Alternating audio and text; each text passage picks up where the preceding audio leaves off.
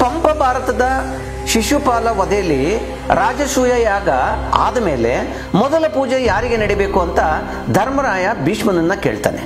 ಭೀಷ್ಮ ಹಿಂಗೆ ಹೇಳ್ತಾನೆ, ಬಲಿಯಂ ಕಟ್ಟದ ನಾವನ್, ಈ ಧರಣಿಯಂ ವಿಕ್ರಾಂತದಿಂದಂ ರಸತಳದಿಂದೆತ್ತಿದ ನಾವನ್, ಅಂದು ನರಸಿಂಹಾಕಾರದಿಂ ದೈತ್ಯನಂ ಛಲದಿಂ ಸೀಲ್ದವ ನಾವನ್ ಅಬ್ದಿ ಮಥನ ಪ್ರಾರಂಭದೋಳ್ ಮಂದಾರ ಚಲವಂ, ತಂದವ ನಾರ್ವ ಆತನೇ ಒಲಂ, ತಕ್ಕನ್ ಪೆರರ್ ತಕ್ಕರೆ. ಅಂದ್ರೆ ಬಲಿ ಸಂಹಾರ ಮಾಡಿದವರು ಯಾರು? ಭೂಮಿಯನ್ನು ಪಾತಾಳದಿಂದ ಎತ್ಕೊಂಡು ಬಂದವರು ಯಾರು? ನರಸಿಂಹ ಅವತಾರ ಎತ್ತಿ ರಾಕ್ಷಸನನ್ನು ತಿಳಿದವರು ಯಾರು? ಕ್ಷೀರ ಸಮುದ್ರದ ಮತನ ಕಾಲದಲ್ಲಿ ಮಂದಾರ ಪರ್ವತ ತಂದವರು ಯಾರು? ಆದ್ರಿಂದ ಕೃಷ್ಣನೇ ಅರ್ಹ ಅಂತ ಭೀಷ್ಮ ಧರ್ಮರಾಯಂಗ್ ಹೇಳ್ತಾನೆ. ಅದು ದೇವರ ನಿಜ ಸ್ವರೂಪದಲ್ಲಿ ನೋಡ್ತಿದ್ದಂಥ ಕಾಲ. ಆದರೆ ಈಗ ಅವನ ಪವಿತ್ರ ಸನ್ನಿಧಿಲೇ ಅನುಗ್ರಹ ಪಡಿಬೇಕಷ್ಟೇ. ಇದನ್ನ ಇಲ್ಲಿಗೆ ಬಿಡ್ತೀನಿ. ನಮ್ಮದು ಇವತ್ತಿರೋದು ತಿರುಪ್ತಿ ಸಬ್ಜೆಕ್ಟು. ಅಂತಹುದೇ ಸನ್ನಿಧಿಯಾದ ತಿರುಪತಿ ವಿಷಯಕ್ಕೆ ಬರೋದಾದರೆ ತಿರುಪತಿ ಆಂಧ್ರ ಪ್ರದೇಶದಲ್ಲಿ ಇದ್ದರೂ ಶತಶತಮಾನಗಳಿಂದಲೂ ಕೂಡ ಕನ್ನಡಿಗರಿಗಂತೂ ಈ ವೆಂಕಟೇಶ್ವರನೇ ಕಲಿಯುಗದ ಆರಾಧ್ಯ ದೈವವಾಗಿ ನಮ್ಮ ಮನೆ ಮನಸ್ಸುಗಳನ್ನು ತುಂಬಿಕೊಂಡಿದ್ದಾನೆ. ಆದರೆ ಆದಿ ಕಾಲದಿಂದಲೂ ಕೂಡ ತಿರುಪತಿ ದೇವಸ್ಥಾನಕ್ಕೆ ಕನ್ನಡಿಗರ ಕೊಡುಗೆ, ಸೇವೆ, ಮುಖ್ಯವಾಗಿ ಪರಕೀಯರ ಸತತ ದಾಳಿಯಿಂದ ರಕ್ಷಣೆ ಮಾಡಿಕೊಂಡು ಬಂದಂಥ ಸಂದರ್ಭಗಳನ್ನು ಧಾರ್ಮಿಕ ಸಂಸ್ಕೃತಿ ವಿಷಯ ಬಂದರಂತೂ ಅವರ ಪ್ರಾಣನೂ ಕೂಡ ಲೆಕ್ಕ ಹಾಕದೆ ಹೇಗೆ ಕನ್ನಡಿಗರು ನುಗ್ತಾ ಇದ್ರು ಅಂತ ಆಂಧ್ರದಲ್ಲಿ ಅದರಲ್ಲೂ ಕೂಡ ತಿರುಪತಿನಲ್ಲಿ ಕನ್ನಡಿಗರು ಬಿಟ್ಟು ಹೋದಂಥ ಗುರುತುಗಳು ಏನು ಅನ್ನೋ ವಿಚಾರಗಳನ್ನ ನಿಮ್ಮ ಮುಂದೆ ಇಡೋದಕ್ಕೆ ಇಷ್ಟಪಡ್ತೀನಿ.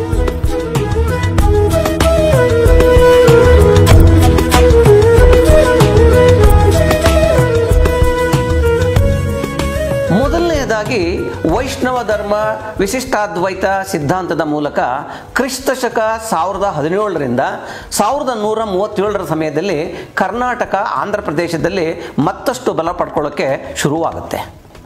ಇವರ ನಂತರ ಮತ್ತೆ ಸಾವಿರದ ಮುನ್ನೂರ ಮೂವತ್ತಾರರಲ್ಲಿ ವಿಜಯನಗರ ಸಾಮ್ರಾಜ್ಯ ಸ್ಥಾಪನೆ ಆದಮೇಲೆ ಈ ಸಿದ್ಧಾಂತಕ್ಕೆ ಮತ್ತಷ್ಟು ಮಗದಷ್ಟು ಬಲ ಸಿಕ್ಕಿ ತಿರುಪತಿ ಅಹೋಬಲಂ ದೇವಸ್ಥಾನಗಳ ಖ್ಯಾತಿ ಹೆಚ್ಚಾಗ್ತಾ ಹೋಗುತ್ತೆ. ಇದಕ್ಕೂ ಸ್ವಲ್ಪ ಹಿಂದೆ ಹೋದರೆ ಕ್ರಿಸ್ತಶಕ ಒಂಬೈನೂರ ಐವತ್ತೊಂಬತ್ತು ಅರವತ್ತರ ಮದೋಡಿ ಅನ್ನೋ ಶಾಸನದಲ್ಲಿ ಪಿಟ್ಟಯ್ಯ ಚಾವಯ್ಯ ಅನ್ನೋರು ವಿಷ್ಣುಪಾದ ಸೇರ್ಲಿ ಅಂತ ನಾರಣಪ್ಪ ಅನ್ನೋರು ವಿಷ್ಣು ದೇವಸ್ಥಾನಕ್ಕೆ ಭೂಮಿ ದತ್ತು ಬಿಟ್ಟ ವಿಷಯ ಬರುತ್ತೆ. ಅದು ಆಂಧ್ರ ಪ್ರದೇಶದಲ್ಲಿ ವೈಷ್ಣವ ಧರ್ಮದ ಬಗ್ಗೆ ಉಲ್ಲೇಖ ಬಂದಿರೋ ಮೊದಲ ಕನ್ನಡ ಶಾಸನ ಅಂತ ಅಂದರೆ ನಿಮಗೆ ಆಶ್ಚರ್ಯ ಆಗ್ಬೋದು.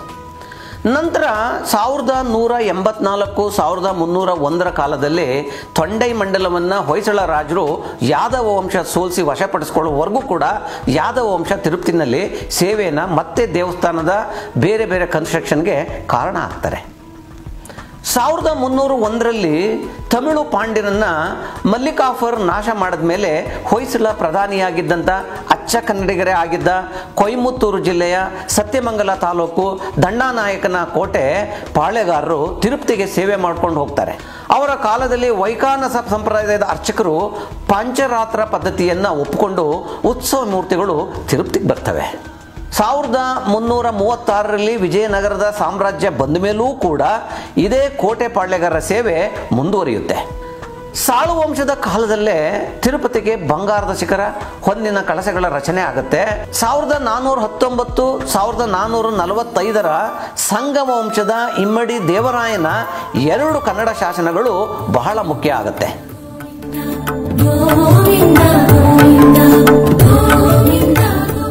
ಗುಡಿಯ ಬಂಗಾರದ ಬಾಗಿಲ ಮೇಲೆ ರಾಜ ಎರಡು ಸಾವಿರ ಹೊನ್ನುಗಳನ್ನು ಹರಿವಾಣದಲ್ಲಿಟ್ಟು ಕೊಟ್ಟ ಬಗ್ಗೆ ಹಾಗೇನೆ ಮುದ್ದೆಯ ನಾಯಕರ ಮಕ್ಕಳು, ತೆಪ್ಪದ ನಾಗೆಯ ನಾಯಕರು, ಮೂರು ಸಾವಿರ ಹೊನ್ನು ಅಮೃತಪಡಿಗೆ, ಎರಡು ವನಮಾಲೆ, ಎರಡು ಹರಿವಾಣ, ಮೂರು ಸಾವಿರ ಹೊನ್ನಿಗೆ ನೂರು ಚಿನ್ನದ ಹರಿವಾಣಗಳನ್ನು ಮಾಡಿಸ್ಬೇಕು ಅಂತ ಅಲ್ಲಿನ ಸ್ಥಾನಿಕರಿಗೆ ಆದೇಶ ಮಾಡಿದ ಶಾಸನ ಸಿಗುತ್ತೆ.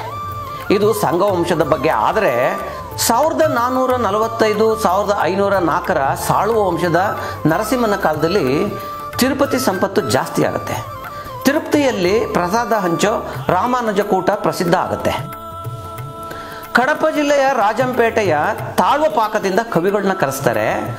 ಅನ್ನಮಾಚಾರ್ಯ ಕೂಡ ಅಲ್ಲಿಂದಲೇ ಬಂದವರು. ಇವರ ಕಾಲದಲ್ಲೇ ತಿರುಪತಿಯ ಗೋವಿಂದರಾಜ ಪೆರುಮಾಳ್ ಗುಡಿಯ ಶಾಸನವೊಂದರಲ್ಲಿ ತಿರುಪತಿ ಕಟಾರಿ ಸಾಳುವ ನರಸಿಂಗಯ್ಯ ದೇವಾರಸ ತಿರುಪತಿಯ ಸ್ಥಾನಿಕರಿಗೆ ಮಾಡಿದ ಆಜ್ಞೆ ಪ್ರಕಾರ ದೇವಸ್ಥಾನದ ಪ್ರಸಾದ ಕಾರ್ಯ ತಿರುಮಲೆಯ ಮರ್ಯಾದೆಯಂತೆಯೇ ನಡೀಬೇಕು. ತಿರುಪತಿ, ದಕ್ಷಿಣ ತಿರುಪತಿ, ಗೋವಿಂದರಾಜ ದೇವರ ಸನ್ನಿಧಿಯಲ್ಲಿ ದೊರೆ ಕಟ್ಟಿಸಿದ್ದಂತಹ ರಾಮಾನುಜ ಕೂಟದಲ್ಲಿ ಪ್ರತಿದಿನ ಬರೋ ಭಕ್ತರಿಗೆ ಪ್ರಸಾದ ಕೊಡಬೇಕು. ಇದನ್ನ ಕಾಂದಾಳ ರಾಮಾನುಜಯ್ಯ ಅವರ ಶಿಷ್ಯರು ನಡೆಸ್ಕೊಂಡು ಹೋಗಬೇಕು ಅನ್ನೋ ಕಟ್ಟಳೆ ಮಾಡ್ತಾರೆ.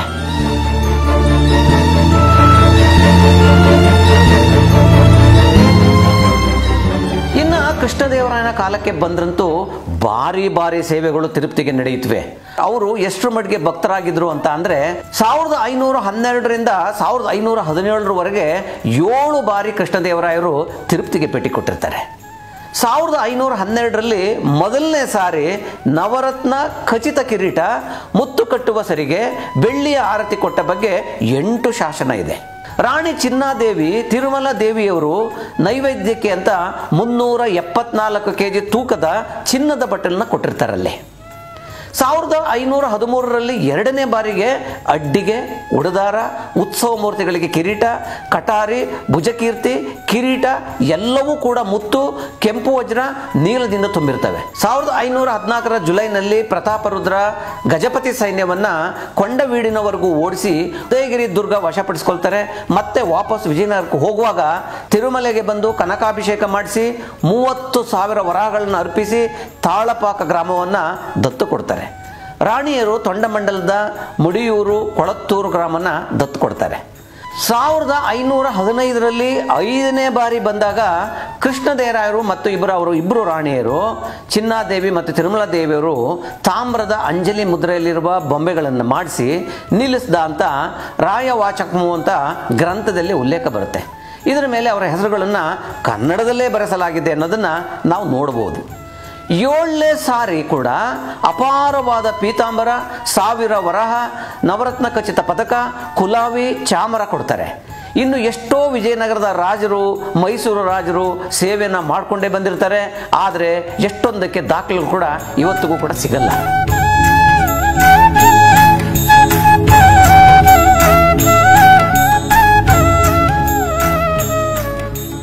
ಇಷ್ಟೆಲ್ಲ ಹೇಳಿದ ಮೇಲೆ ಇನ್ನೊಂದು ಸಂಸ್ಥಾನದ ಬಗ್ಗೆ ಹೇಳಲಿಲ್ಲ ಅಂತ ಅಂತ ಅಂತಂದ್ರೆ ಈ ವಿಡಿಯೋ ಪೂರ್ಣ ಆಗಲ್ಲ ಅಂತ ನನಗನ್ಸುತ್ತೆ. ಅವರೇ ಕನ್ನಡ ನಾಡಿನ ಸುರಪ್ರದ ನಾಯಕರು. ಕ್ರಿಸ್ತಶಕ ಸಾವಿರದ ಆರುನೂರ ಮೂವತ್ತಾರು, ಸಾವಿರದ ಎಂಟುನೂರ ಐವತ್ತೆಂಟರ ಮಧ್ಯ ಮಂಡಗೈ ವೆಂಕಟಪ್ಪ ನಾಯಕ, ಮುಮ್ಮಡಿ ರಾಜ ವೆಂಕಟಪ್ಪ ನಾಯಕ ಸೇರಿದಂತೆ ಈ ವಂಶದ ರಾಜರು ತಿರುಪತಿಗೆ ಯಾವುದೇ ಆಪತ್ತಾಗದಂತೆ ಬ್ರಿಟಿಷರು ಸೇರಿದಂತೆ ಪರಕೀಯರ ದಾಳಿಯಿಂದ ರಕ್ಷಕರಾಗಿ ತಿರುಪತಿಯನ್ನ ಕಾಪಾಡ್ಕೊಂಡು ಬಂದಿರ್ತಾರೆ.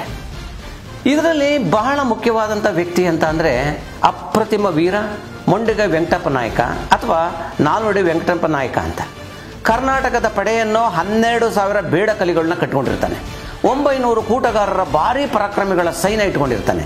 ಈತ ಫ್ರೆಂಚರ ಮೇಲೆ ಪಾಂಡಿಚೇರಿನಲ್ಲಿ ಯುದ್ಧ ಮಾಡಿ ನಿಜಾಮರಿಂದ ಸಾವಿರಾರು ಗೋವುಗಳ ಹತ್ತಿನ ತಪ್ಪಿಸಿ ವಾಪಸ್ಸು ಬರಬೇಕಾದ್ರೆ ಬೇಹುಗಾರರಿಂದ ಮ್ಲೆಚ್ಚರ ಒಂದು ಸೈನ್ಯ ತಿರುಪತಿ ಮೇಲೆ ದಾಳಿ ಮಾಡ್ತಾ ಇದ್ದಾರೆ ಅನ್ನೋದು ಒಂದು ಇನ್ಫಾರ್ಮೇಶನ್ ಇವರಿಗೆ ಬರುತ್ತೆ. ಈ ವಿಚಾರ ಕೇಳಿ ತಿರುಪತಿಯ ವೆಂಕಟೇಶ್ವರನ ಪರಮ ಭಕ್ತನಾದಂಥ ಈ ರಾಜನಿಗೆ ರೋಷ ಉಕ್ಕಿ ಬರುತ್ತೆ. ಪಾಂಡಿಚೇರಿ ಯುದ್ಧದ ಭೀಕೃತೆಯಲ್ಲಿ ಕೊನೆಗೆ ಉಳ್ಕೊಂಡಿದ್ದಂಥ ಕೇವಲ ಒಂಬೈನೂರು ಬೇಡ ಸೈನಿಕರನ್ನ ಕರ್ಕೊಂಡು ಕುಲದೇವ ತಿರುಪತಿ ವೆಂಕಟೇಶ್ವರನ ರಕ್ಷಣೆ ಮಾಡಿ ನಿಜಾಮರಿಂದ ಉಡುಗೊರೆಯಾಗಿ ತೆಗೆದುಕೊಂಡು ಬಂದಿದ್ದಂತಹ ಆ ಸಾವಿರಾರು ಗೋವುಗಳು ಮತ್ತು ಕೋಟ್ಯಾಂತರ ಮೌಲ್ಯದ ಉಡುಗೊರೆಗಳನ್ನ ಸ್ವಾಮಿಗೆ ಅರ್ಪಣೆ ಮಾಡ್ತಾನೆ. ಅಲ್ಲಿಗೆ ತಿರುಪತಿ ಮೇಲೆ ಬಿದ್ದಿದ್ದಂಥ ಅತಿ ದೊಡ್ಡ ಆಘಾತ ದೂರ ಆಗುತ್ತೆ. ಇಷ್ಟು ಮಾತ್ರ ಅಲ್ಲದೆ ಸಾವಿರದ ಏಳ್ನೂರ ಐದರಲ್ಲಿ ಸುರಪುರದ ವಾಗಣಗೇರದಲ್ಲಿ ಔರಂಗಜೇಬು ಸತತ ಆರು ತಿಂಗಳು ಯುದ್ಧ ಮಾಡಿ ಕೊನೆಗೆ ಸೋಲ್ತಾನೆ. ಆದರೆ ಅದು ಇದೇ ಅವನ ಕೊನೆ ಯುದ್ಧ ಆಗುತ್ತೆ.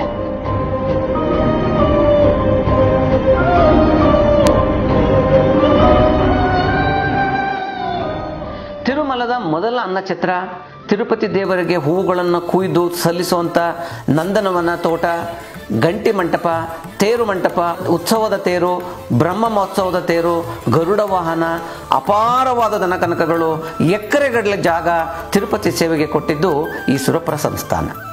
ಇವತ್ತಿಗೂ ಕೂಡ ತಿರುಪತಿ ವೆಂಕಟೇಶ್ವರನಿಗೆ ಸಲ್ಲುವ ಮೊದಲ ಪೂಜೆ ಏನಿದೆ? ಬ್ರಹ್ಮೋತ್ಸವ, ನವರಾತ್ರಿ ಉತ್ಸವ, ರಥೋತ್ಸವಗಳಿಗೆ ಚಾಲನೆ ಕೊಟ್ಟು ಸುರಪುರ ಸಂಸ್ಥಾನಂ ಅಂತ ಕೂಗಿ ಹೇಳುವಂಥ ಪ್ರತೀತಿ ಇವತ್ತಿಗೂ ಕೂಡ ಇದೆ. ಹೀಗೆ ಕ್ಷತ್ರಿಯ ಧರ್ಮಪಾಲನೆ ಜೊತೆ ಸನಾತನ ಧರ್ಮಪಾಲನೆ ಕೂಡ ಮಾಡಿದಂಥ ಕೀರ್ತಿ ಈ ಸುರಪುರದ ರಾಜ ಸಲ್ಲುತ್ತೆ. ಇಷ್ಟೆಲ್ಲ ಹೇಳಿದ್ಮೇಲೆ ಕರ್ನಾಟಕದ ದಾಸ ಪರಂಪರೆಯ ಬಗ್ಗೆ ಹೇಳಲೇಬೇಕು. ವಿಜಯನಗರ ಸಾಮ್ರಾಜ್ಯದ ಕಾಲದಲ್ಲಿ ವ್ಯಾಸಕೂಟ ದಾಸಕೂಟ ಅನ್ನೋ ಎರಡು ಸಂಪ್ರದಾಯಗಳು ಬೆಳೀತವೆ. ಅದರಲ್ಲಿ ಕನ್ನಡಕ್ಕೆ ಒಲಿದ ಸಂಪ್ರದಾಯ ಈ ದಾಸಕೂಟ. ಮಧ್ವಾಚಾರ್ಯರು ಹಾಕಿಕೊಟ್ಟ ಕರ್ನಾಟಕ ಹರಿದಾಸ ಸಂತತಿ, ಪುರಂದರದಾಸರು, ಕನಕದಾಸರು, ವಿಜಯದಾಸರು, ಶ್ರೀಪಾದರಾಜರು, ವ್ಯಾಸರಾಜರು, ವಾದಿರಾಜರು, ಗೋಪಾಲದಾಸರು, ಜಗನ್ನಾಥದಾಸರು ಹೀಗೆ ಸುಮಾರು ನಾನ್ನೂರು ರತ್ನಗಳನ್ನು ಕೊಟ್ಟಿದೆ ಇದು.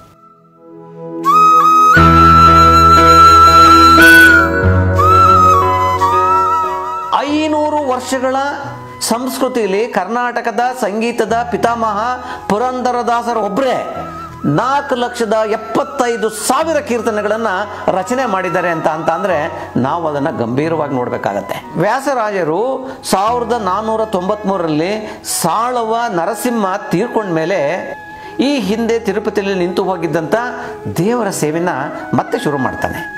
ಸಾವಿರದ ನಾನ್ನೂರ ತೊಂಬತ್ತೆಂಟರಲ್ಲಿ ತಿರುಪತಿಯ ಅರ್ಚನೆ ವ್ಯವಸ್ಥೆಯನ್ನು ಕ್ರಮಬದ್ಧ ಮಾಡ್ತಾರೆ. ತಿರುಪತಿ ದೇವಸ್ಥಾನದ ಎದುರು ಬೇಡಿ ಆಂಜನೇಯನಿಂದ ಹಿಡಿದು ಪುರಂದರದಾಸರ ಉತ್ಸವ ಮೆಟ್ಲೋತ್ಸವ ಕೋಲಾಟದಿಂದ ಹಿಡಿದು ಕರ್ನಾಟಕದ ಸಂಸ್ಕೃತಿ ತಿರುಪತಿನಲ್ಲಿ ಲೀನವಾಗಿದೆ ಅಂದರೆ ತಪ್ಪಾಗಲ್ಲ. ಅದಕ್ಕೆ ಇರಬೇಕು ವೇಂ ಪಾಪಂ ಕಟಾಯಿತಿ ನಾಶಾಯಿತಿ ಇತಿ ವೆಂಕಟಂ ಅಂದರೆ ನಮ್ಮ ಪಾಪಗಳನ್ನು ಕಳೆಯೋನೇ ವೆಂಕಟೇಶ್ವರ ಅಂತ ಇದರ ಅರ್ಥ. ಕೊನೆಯದಾಗಿ ಪ್ರತಿಯೊಬ್ಬರ ಮೇಲೂ ತಿರುಪ್ತಿ ತಿಮ್ಮಪ್ಪನ ಅನುಗ್ರಹ ಇರಲಿ ಅಂತ ಪ್ರಾರ್ಥಿಸ್ಕೊತೀನಿ. ನಮಸ್ಕಾರ.